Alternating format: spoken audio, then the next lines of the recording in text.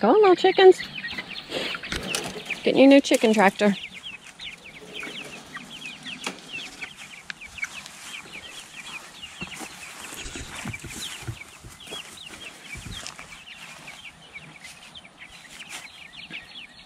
You put water in that. Yep. Why you got your britches leg up on that leg? Style. It's a style. Mhm. They're gonna like it. They're gonna like that grass.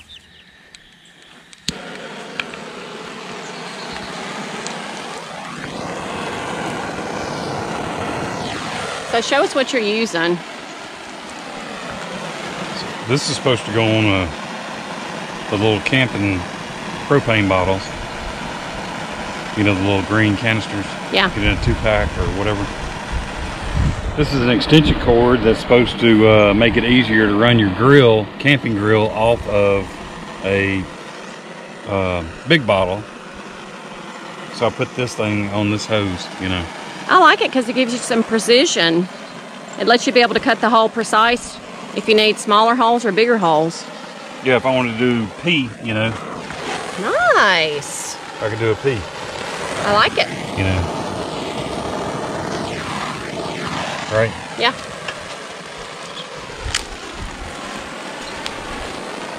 Hey, let me help you, baby. I don't need to be burning a hole in that hose. That'd be bad. Right?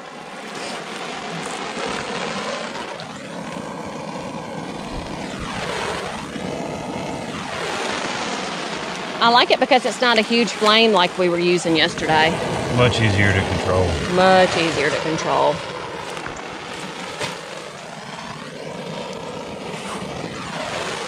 Yep. Winner, winner, chicken dinner. What you think?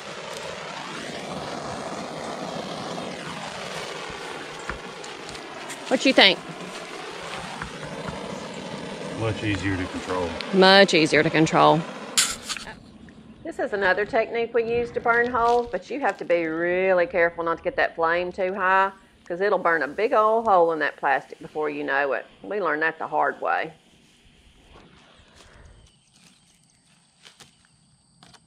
Know, I love how these little soil blockers worked this year. Look how good that zinnia looks.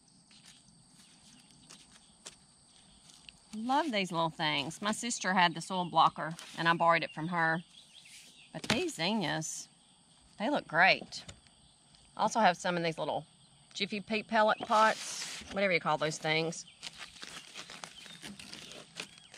But I think I'm gonna I think I'm gonna do soil blockers from now on.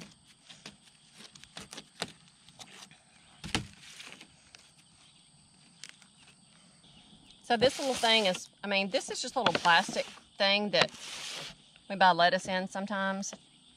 And it works great. Works really well for these soil blockers.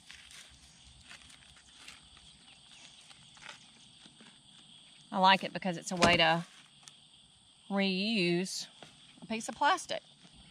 Know, I can't tell you how excited I am to be using this this woven fabric this year. I am really looking forward to it keeping the weeds down in the garden. What you planting? Sweet corn. What variety? Silver King. Silver King? I never heard of Silver King. Every queen needs a king. That is a fast way to plant corn. Man, I wish my daddy had had that when we were growing up. That would have been a back saver. Very nice. Very nice. So we're doing corn and black-eyed peas without the tarps.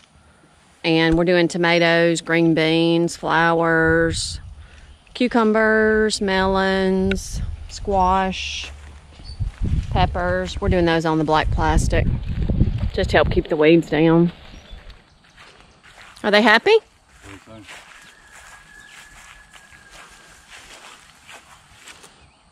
What do you think? Believe so. I need to make them a couple of roosts, but that'll be for tomorrow. I'm done today. I'm gonna go make biscuits. That sounds like a plan. So, Hmm. you got sunburn today. You got a bunch of stuff in your hair. Do I? Mm-hmm. Bunch of trash. You gonna get it out? It's gonna take a brush. it's not gonna take. It's not like picking something out. Well, You need a curry comb. I don't need a curry comb. You comb. need a curry comb. So we're both filthy and tired.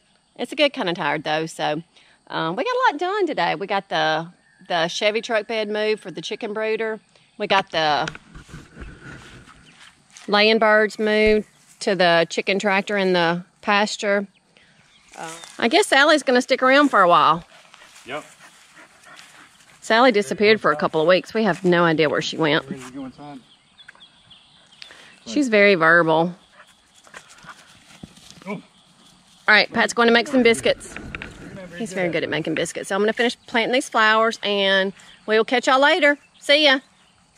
You know it's a good day when you got dirt on your fingernails.